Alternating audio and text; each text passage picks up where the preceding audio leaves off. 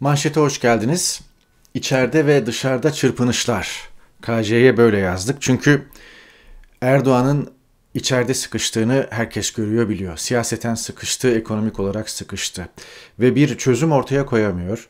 En son milletin yastık altına müracaat ettiler ve oradan da bir şey çıkmayacağı ortada. Sonraki hamle, sonraki hamle yok. Yabancı yatırımı çekmeye çalışıyor. Birleşik Arap Emirlikleri'nden, Katar'dan bulabildiği her yerden işte Londra'ya e, ekonomi e, bakanını gönderdi. Hazine Maliye Bakanlığı daha doğrusu gönderdi. O da eli boş fiyaskoyla döndü. Birleşik Arap Emirlikleri temaslarına bakacağız. Gene Erdoğan bölgede bir anlamda daha evvel kavgalı olduğu herkesle bir barış çubuğu tüttürme derdinde. Bir imaj yenileme, imaj tazeleme derdinde. Bunu yapabilecek mi ona bakacağız. İsrail'le, Mısır'la. Yine aynı şekilde Türkiye'de özellikle hayat pahalılığının iktidar e, ne bileyim propaganda araçlarınca nasıl çarpıtıldığı ve nasıl yansıtıldığı buna bakacağız. Ukrayna'da savaş tamtamları yerini sessizliğe, yerini belirsizliğe, yerini sanki savaş çıkmayacak e, bir sulh oldu. Her iki tarafta kendi tezlerinde haklılığını gösterdi. İki tarafta kazandı. Haliyle sıcak savaşa gerek kalmadı. Soğuk savaş bir anlamda olumlu netice verdi falan gibi bir havaya bıraktı. Son yayında %51-49 savaş çıkar Şubat'ın ikinci yarısı bu çok kuvvetle muhtemel bekleniyor demiştim. Fakat bu denge döndü. Şu anda 60'a 40 neredeyse 70'e 30 savaş çıkmaz deniyor. Bu Putin'den gelen mesajları algıladığınızda veya çözmeye çalıştığınızda da böyle, verilen fotoğrafları anlamlandırmaya çalıştığınızda da böyle, batıdan gelen mesajlara baktığınızda da böyle. Ama hala bir güvensizlik var. Rusya'ya yakın kaynaklar e, ordusunu çekiyor derken Ukrayna sınırından Batı hala bunu teyit edebilmiş değil. Bütün bunlara bakacağız. İçeride ve dışarıda çırpınışlar konulu yayınımız ufak ufak başlasın. Gazetecilerin elbette dün birkaç saatliğine cezaevine konulup serbest bırakılması var. O konuda da söyleyeceklerim var. E, ve yine Covid, Omikron'la alakalı e, diyeceklerim de var. E, YouTube'da e, kapağımız e, tarihi gol ama kendi kalesine biçimindeydi.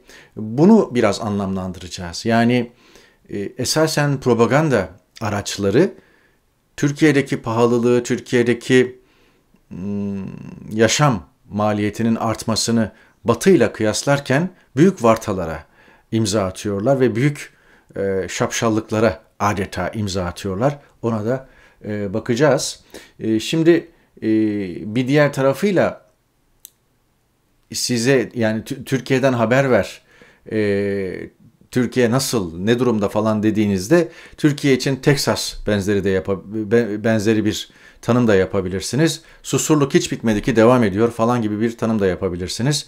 Türkiye tam anlamıyla işte siyasi anlamda ve ekonomik anlamda dibe vurmanın getirdiği bir sonuç olarak mafyanın cirit attığı ve kentin merkezinde birbirini kurşunladığı falan bir ülkeye döndü. İşte son hadise de bu.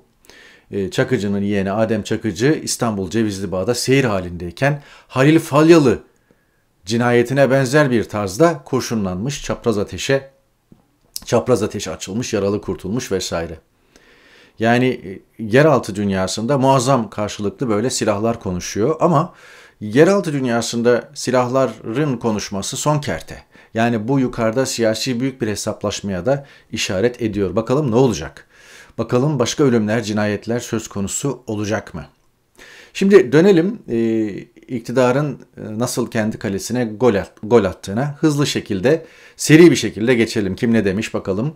E, Pelikan tayfasının sabahtaki kadrolu e, elemanı Dilek Güngör, e, devlete bile kafa tutabilen kapitalist çetelere dönüştü diyor zincir marketler zinciri. O halde devletin sıcak nefesini de yakında enselerinde hissederler işte tuhaf biçim tuhaf biçimde öyle bir kurtuluş savaşı, öyle bir hayatta kalma mücadelesi veriyorlar ki sıradan herkes devletin nefesini sırayla ensesinde hissediyor. Mehmet Özsasaki doğalgazın %75'ini devlet karşılıyor haliyle en ucuz ülkeyiz demiş. Kime ne? Yani doğalgazın bir bölümünü veya mühim bir bölümünü devlet sübvanse ediyor olabilir. Fakat bu kimsenin kabahati değil, bu, bu en başta sizin kabahatiniz. Esasen doğalgazı halkın finanse etmesi lazım. Ve halkın alabileceği ölçüde bir fiyata sahip olması lazım. Ah bizden önceki dönem şöyleydi, yok efendim yapılan anlaşmalardı, ne bileyim ANAP dönemiydi, CHP dönemiydi falan demeyin. 20 yıldır iktidardasınız yani. Ben de anlatıyorum. O kadar kankasınız Putin'le İran, kardeş ülke İran, yakın akraba İran, komşudan öte İran, Moskova, öbürü belki. Mahir Ünal aynı şekilde bu sefer uluslararası piyasalardan dem vuruyor. Yani diyor ki yaşadığımız sorunlar küresel anlamdaki ekonomik daralmadan kaynaklı. Amerika'da diyor enflasyon %7'lere ulaşmış. Duyuyor musun, biliyor musun? Ya senin kendi ülkende %7 değil %117. Belki daha fazla. Ama ne çare? İşte bu aynı zamanda Mahir Ünal AKP'de e, şeydir, troll başıdır yani. E, trolleri sevk ve idare eden merkezin başıdır yani, beynidir. Ona da öyle bakın. Dolayısıyla e, sosyal ağlarda ne zaman bir troll e, şeyine maruz kaldığınızda aklınıza Mahir Ünal gelsin. Kendini parlatmayı da iyi beceriyor. Hürriyet'te Hande Fırat'a yaptırmış bunu. En son Van Gogh'tan çok etkilendim deyip böyle ressamlık yönünü falan da. Yani bir yandan böyle ıı, iktidar namına Ali Kıran Başkesen yürürken öbür taraftan da işte efendim bir, bir ayrı bir PR şeysi. Kime yaptıracak? Hürriyet'ten Hande Fırat'a yaptıracak tabii ki başka.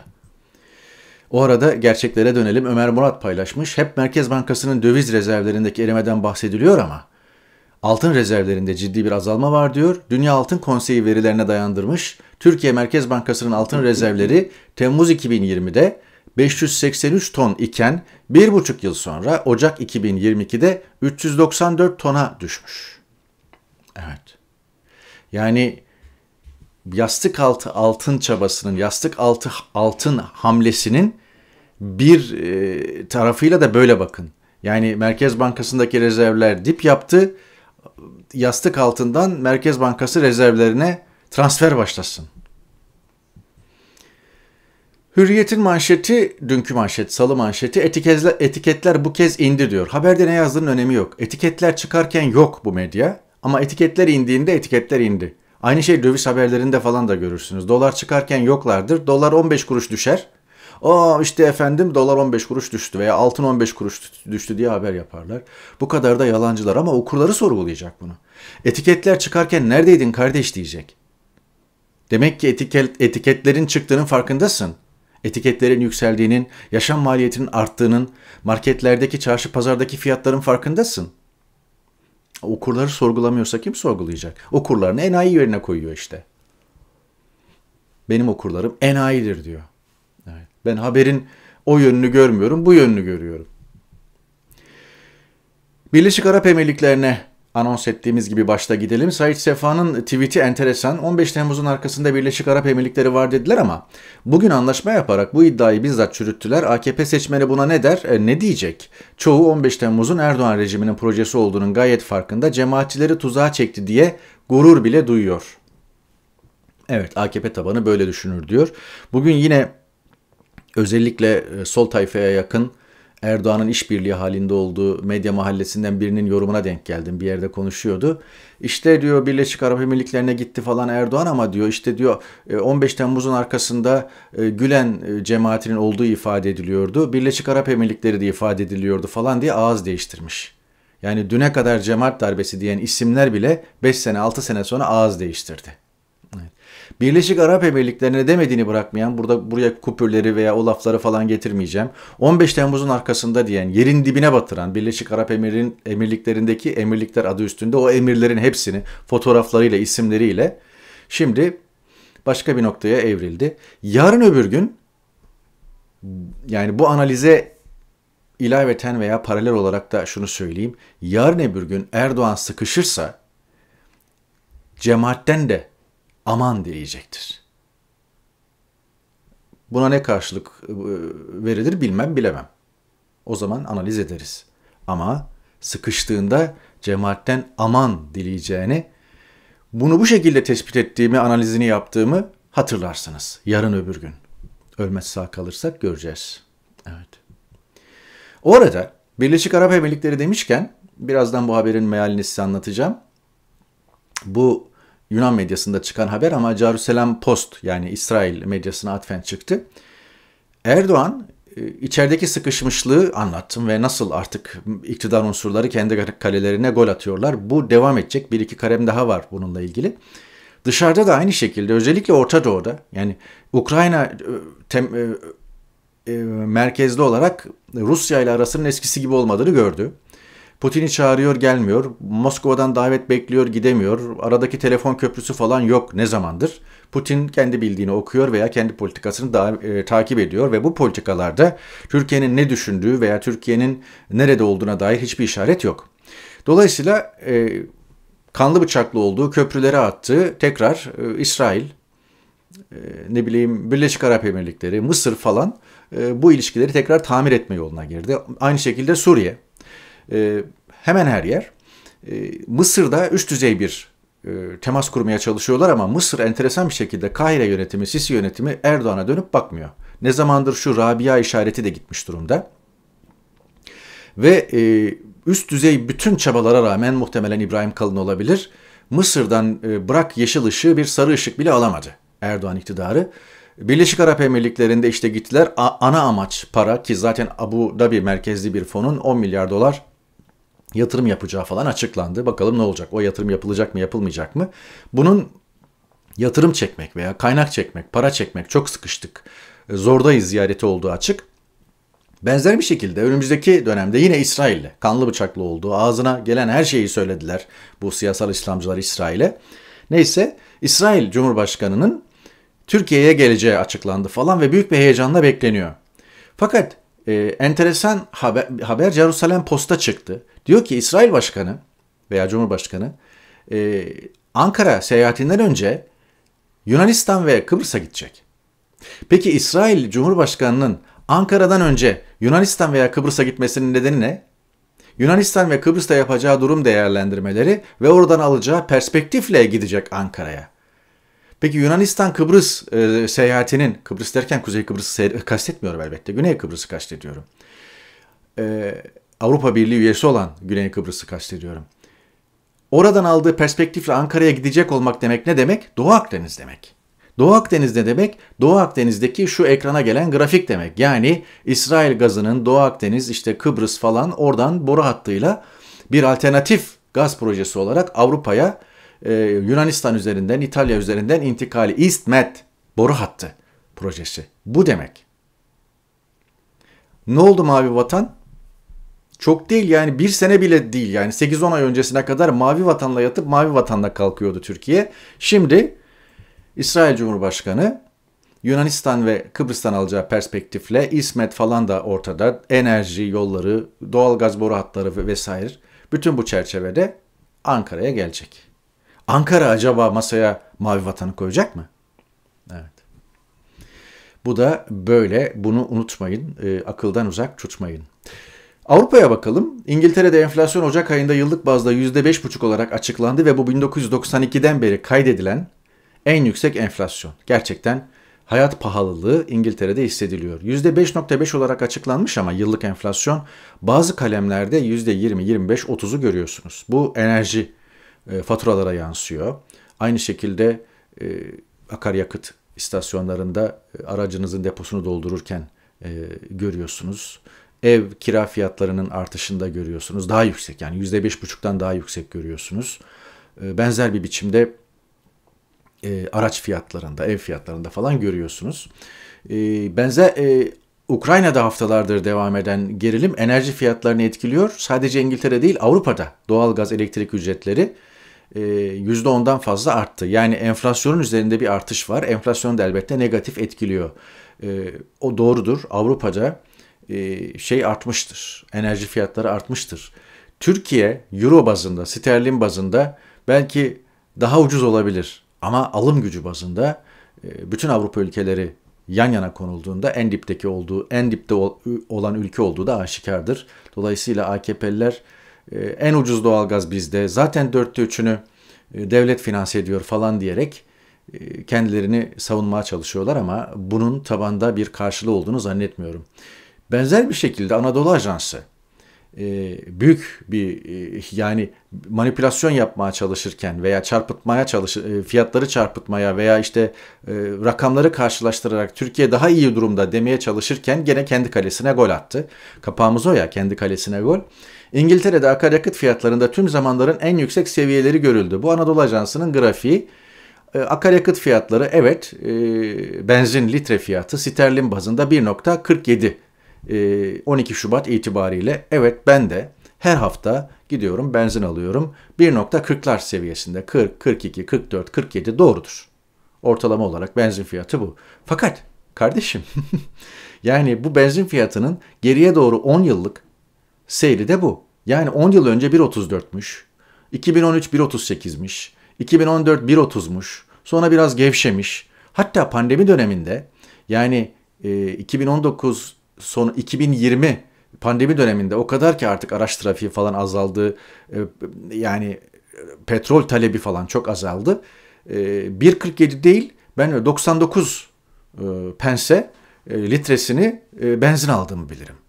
Yani ona göre yani 2 sene önceki e, benim o benzin al 99 pense benzin aldığım döneme göre %50 artış var neredeyse. Fakat seyir burada. Geriye doğru 10 e, yıllık seyir burada. E, çok büyük bir iniş çıkış görmüyorsunuz. Yani neredeyse aşağı yukarı 2013 seviyelerinde falan. TR 724 benzin mazot yani mavi olan grafik çubuklar benzin, turuncu olanlar mazot. Türkiye geriye doğru 10 yıllık benzin mazot grafiğini yaptığında işte görüyorsunuz Türkiye'deki sıçramayı. Özellikle özellikle 2020, 21, 22'den nasıl sıçramış benzin mazot. 6.7'lerden 15.2'lere, 6.35'lerden 15.45'lere gelmiş benzin mazot. İşte böyle de kendi kalelerine gol atıyorlar. Yani şu İngiltere'de şu grafiğin nesi var? Gayet doğal bir artış bütün Avrupa'da olduğu gibi. Ama burada ikiye katlanmış fiyatlar işte diyor ki dünyada da böyle. Dünyada fiyatlar ikiye katlanmadı. Avrupa'da ikiye katlanmadı. İşte kendi kalesine gol böyle bir şey. Türkiye'den çarpıcı bir fotoğraf. Aşı ile ilgili bir iki şey söyleyeceğim. Canan Kaftancıoğlu paylaşmış bu fotoğrafı. Türkovak aşısı şu anda pompalanıyor Türkiye'de. E, biliyorsunuz, malumunuz. Fakat yani sağlık meselesi söz konusu ve bu İstanbul'da bir billboard. Yerli ve milli aşı Türkovak. Bir kere bu soru işareti. İki, yani AKP logosunun orada ne işi var? AKP İl Teşkilatı muhtemelen bu billboardu hazırlayıp as, asmış veya astırmış. Tayyip Erdoğan'ın fotoğrafı ne alaka? Vesaire. İşte bilimin yanındayız, yerli ve milli aşımız. Yani e, kendine propagandayı görüyor musun? Yani ben buna kendine kendi kalesine gol diyorum ama belki tabanda bunun karşılığı vardır bilmiyorum. Bunu muhalefetin de iyi analiz etmesi lazım. %30-35 civarındaki AKP tabanında bunun ne kadar karşılığı var? Yerli aşı reklamı Tayyip Erdoğan ve AKP logosuyla sanki kendileri bulmuş çıkarmış, icat etmişler falan gibi. E, aşının mucidi Tayyip Erdoğan'mış falan gibi. Bu şekilde lanse ediliyor. Böyle bir ülke. Evet. Ama gerçeklere dönelim. Türkiye kırmızı. Ve bu kırmızının mimarlarından biri de elbette Sağlık Bakanı aldığı veya almadığı tedbirlerle son günlerde Türkiye'de o kadar ölümler arttı ki, ki çoğu e, rivayet gösteriyor ki ölümlerin yarısı ya da üçte biri açıklanıyor. E, bir dönem gene açıklanan resmi verilere göre tavana ulaşmış durumda son günlerde Türkiye'de açıklanan ölümler bir sene, bir buçuk sene önceki o krizin yani e, pandeminin en sert, en çetin günlerindeki rakamlara ulaşmış durumda. 300'ler dolayında rakam açıklanıyor ama gerçekte bunun iki katı, üç katı olduğu da söyleniyor. Omikron'da 3 yeni belirti haberi de dikkat çekici. İngiltere araştırması bu. Yeni semptomlar, e, bir takım yeni semptomlar gözlenmiş efendim. Buna Bunlar nelermiş? İshal, iştahsızlık ve karın ağrısı gibi şikayetlerde artış. E, bunu da hatırlatmış olalım ve devam edelim.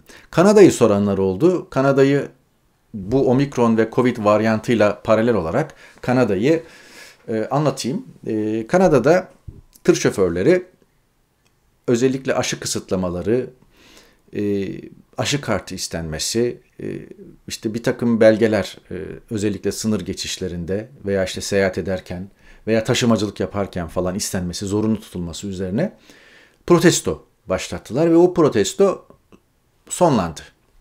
E, dün itibariyle sonlandı. E, 18 gün falan sürdü bu protestolar.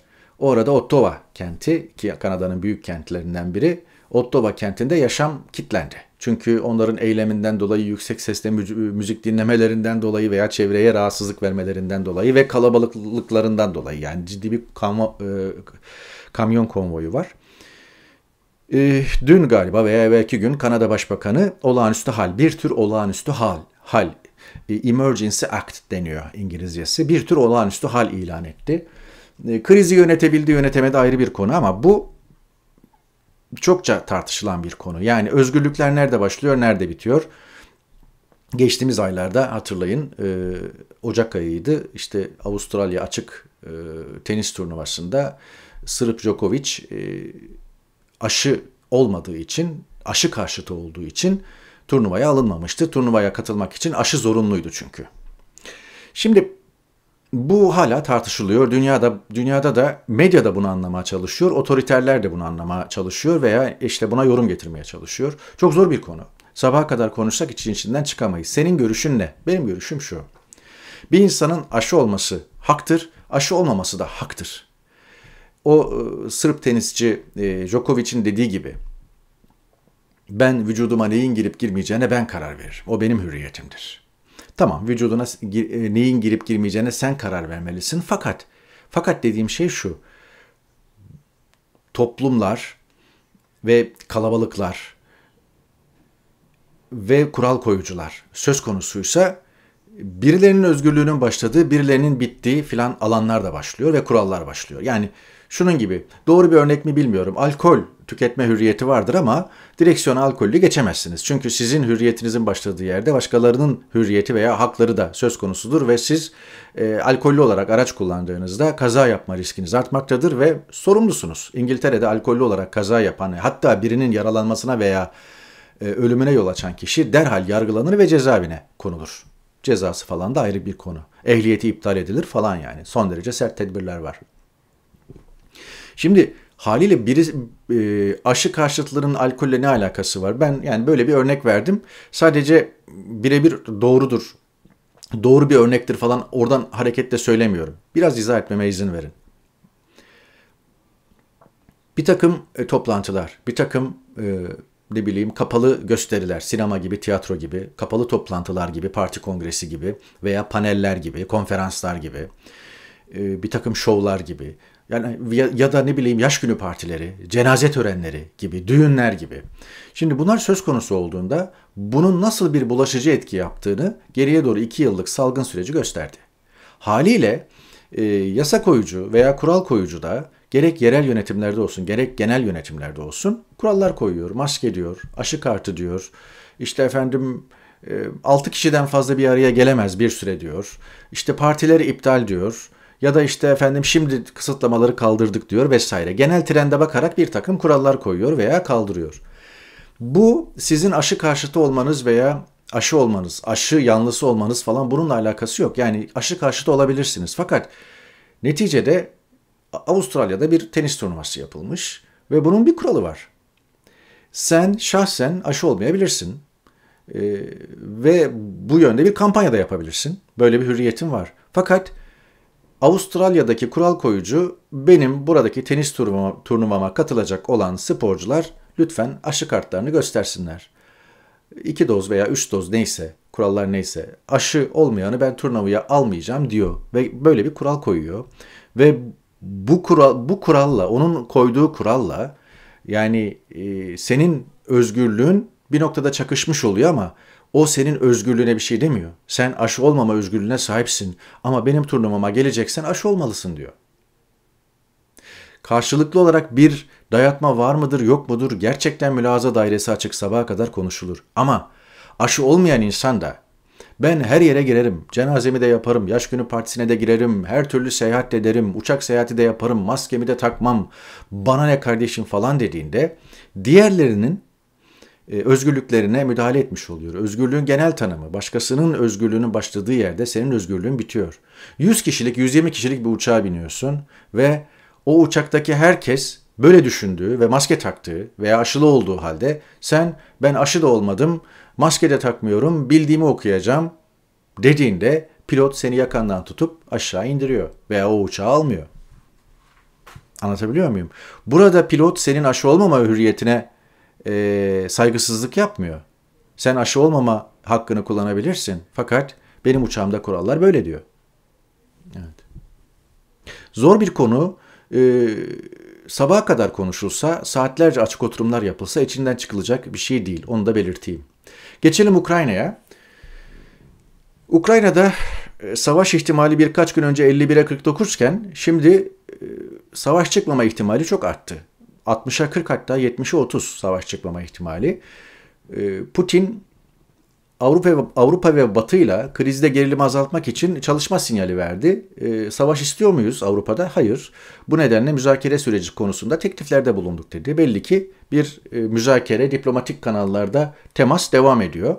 Devamla İngiliz menşeli e, Bloomberg e, İngiliz merkezli diyeyim daha doğrusu Londra merkezli 4 Şubat'ta yanlışlıkla yayımladığı Rusya Ukrayna'yı işgal etti başlıklı haberi için çok sayıda farklı senaryo için başlıklar hazırlıyoruz diyerek özür dilemişti diyor. Yani ee, Batı medyası, başta İngiliz ve Amerikan medyası savaşı çoktan satın almışlar. Bu onu gösteriyor. Yine Beyaz Saray Ulusal Güvenlik Danışmanı'nın ifadesi de enteresan. Rusya'nın Ukrayna e, işgalinin Pekin'deki kış olimpiyatları bitmeden yani 20 Şubat'tan önce başlayabileceğini açıklamıştı. Herkes savaş ihtimalini satın almıştı. Fakat ne olduysa oldu. Ee, Putin e, gerilimi yükseltti, yükseltti, yükseltti sonra tekrar gevşemeye bıraktı. İmaj her şey. Bakın bu Liz Truss, e, öndeki kadın İngiltere Dışişleri Bakanı Lavrov'la Rus Dışişleri Bakanı ile görüşmeden çıkarken Twitter'dan paylaştığı fotoğraf.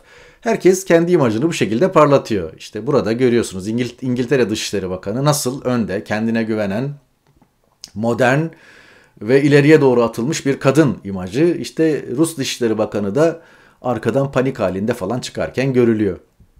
Bu da mesela Macron'un, Fransa Başkanı Macron'un Putin'le görüşmeye giderken kendi Twitter hesabından paylaştığı fotoğraf. İşte e, Macron'un arkadan arkasından çekilmiş, çekilmiş bir fotoğraf. İleride o meşhur uzun masanın başında Putin onu e, bekliyor. İmaj yani.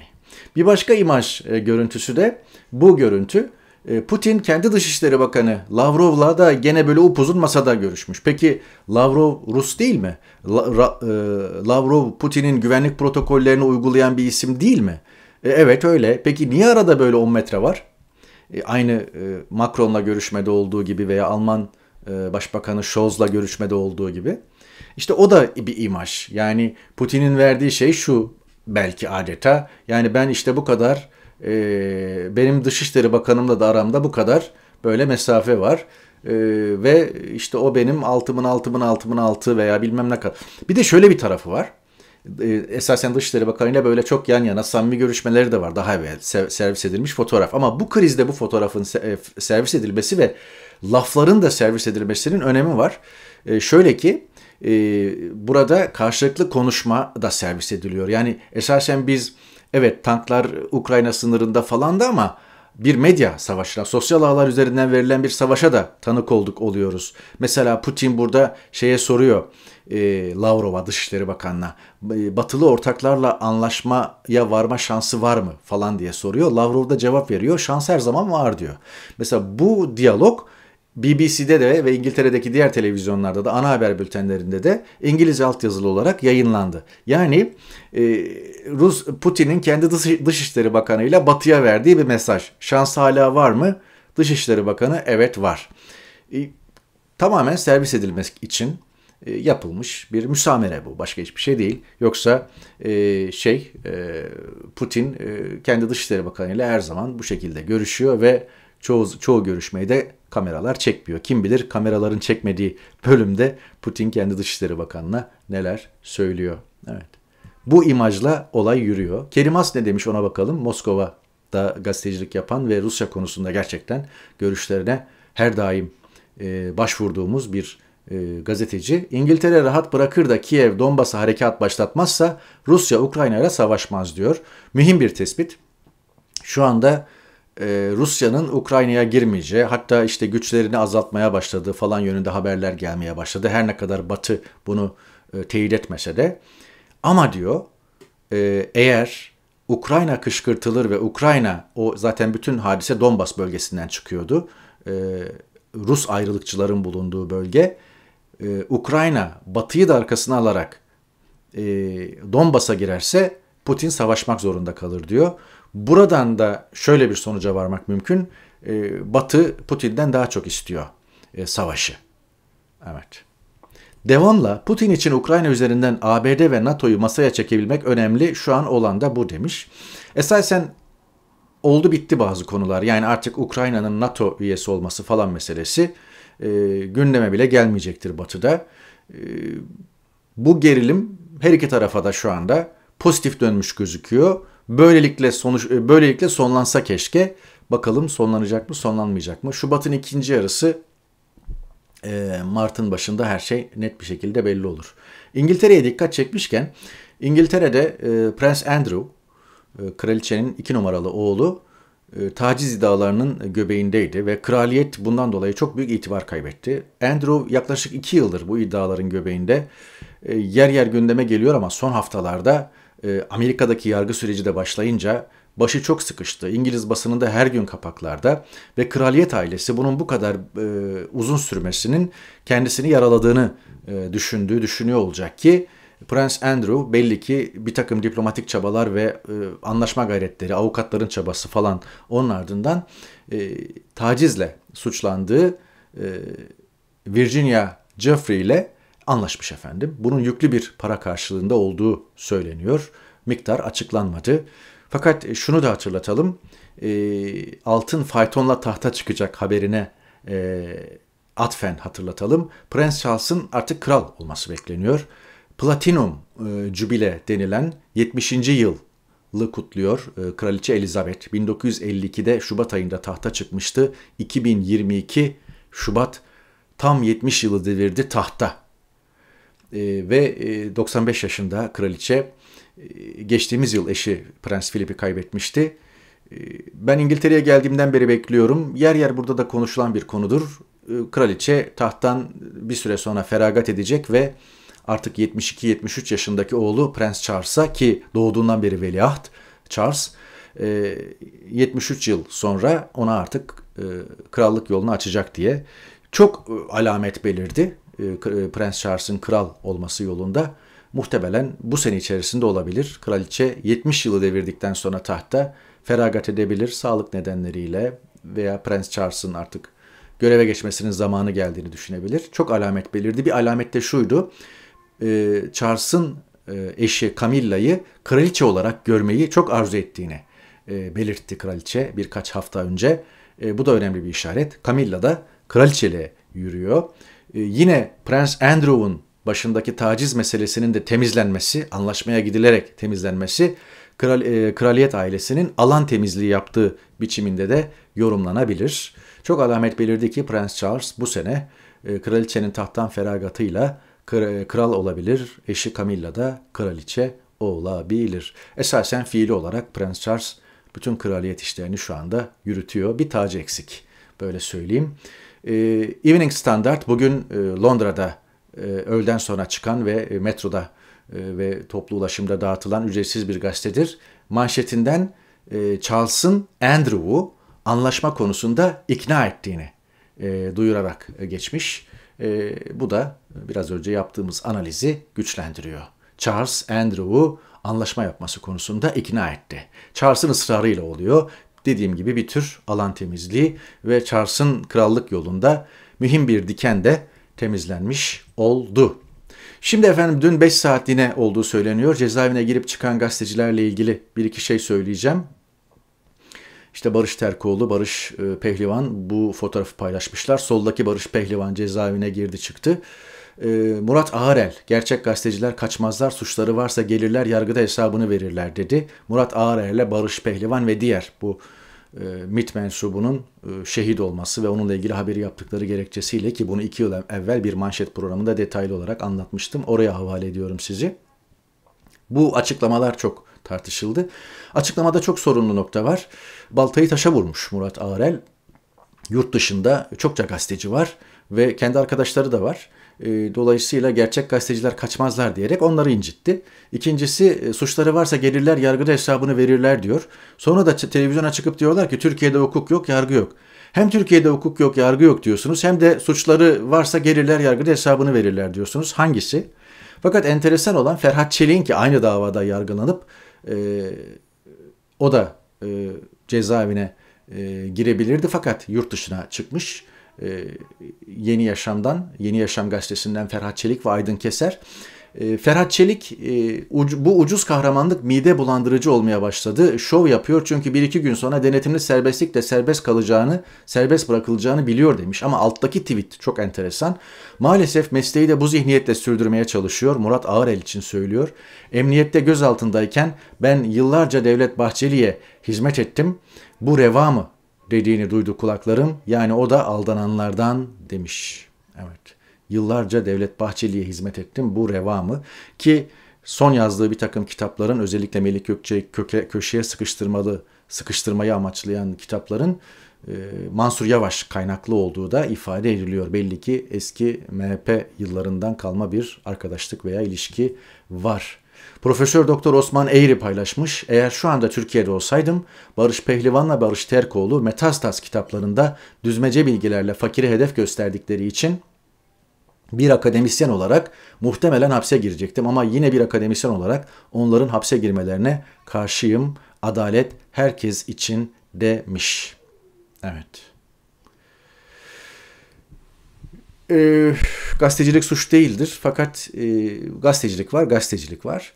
Barış Terkoğlu ve Barış Pehlivan e, operasyonel bir iş yapıyorlar. Daha evvel Nedim Şener için söylediğim şeyi bu arkadaşlar için de söyleyebilirim.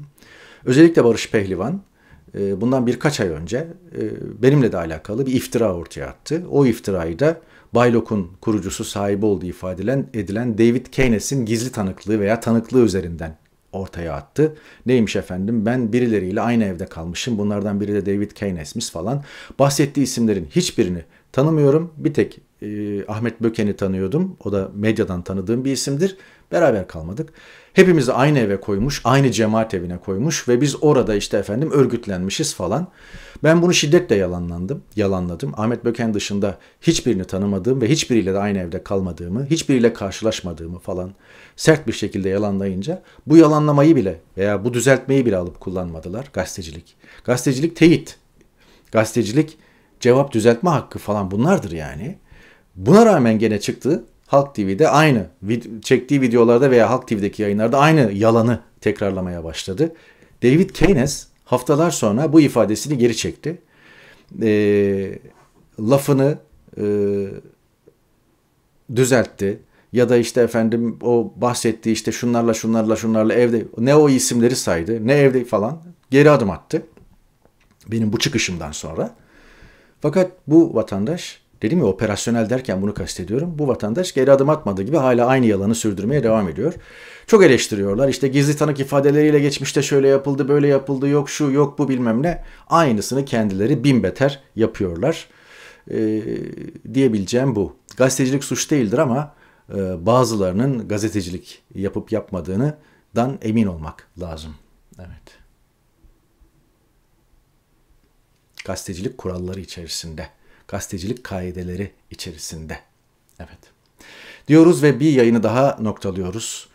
Ee, biraz uzun bir yayın oldu. 38-39 dakikayı bulduk. Her zaman 20-25 dakikada bitiriyorduk. Mazur görür müsünüz? Cuma günü tekrar görüşmek umuduyla efendim. Hoşçakalın.